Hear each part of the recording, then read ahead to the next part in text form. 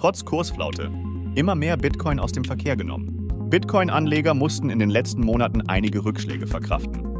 Die Zahl der Hodler ist dennoch gestiegen. Das könnte dem Kurs zugutekommen. Die letzten Monate verliefen mit Blick auf die Bitcoin-Kursentwicklung für viele Anleger enttäuschend. Dennoch hält die Mehrheit an ihren Investments fest, wie eine Auswertung der Datenplattform Glassnode ergab.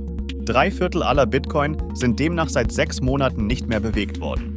Dies könnte auf gesteigertes Vertrauen von Langzeitinvestoren hindeuten.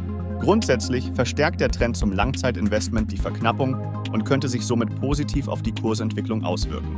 Der Bitcoin-Kurs ist in den letzten 24 Stunden um 2% auf aktuell 58.500 US-Dollar gefallen. Diese Meldung erschien zuerst auf unserer Website. Für weitere News zu Kryptowährungen abonniere unseren Kanal oder schau dir das nächste Video an.